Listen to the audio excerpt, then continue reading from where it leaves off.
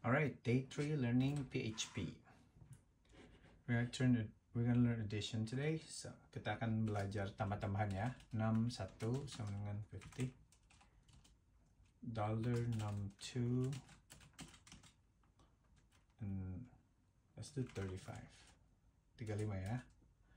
Lalu dollar result sama dengan num 1 plus dollar num 2 and then echo dollar result. Let's see. Okay 85 all right so we're gonna try this.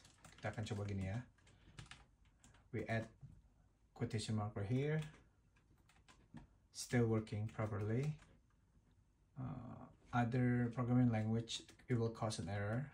Here at PHP errornya like this but they still count it unless we put the character in front of it.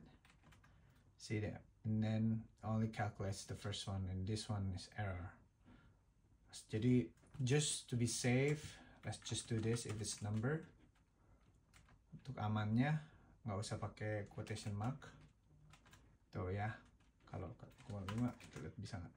Ah bisa. Thanks for watching like subscribe and comment. See you on the next video